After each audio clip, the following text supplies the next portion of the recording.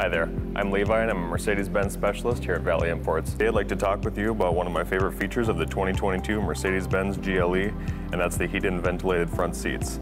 This feature is a game changer on long road trips. Whether we're in the peak heat of summer or the frigid winter temps, your GLE will keep you comfortable from head to toe. This is just one of the great features of Mercedes-Benz that sets them apart from the competition.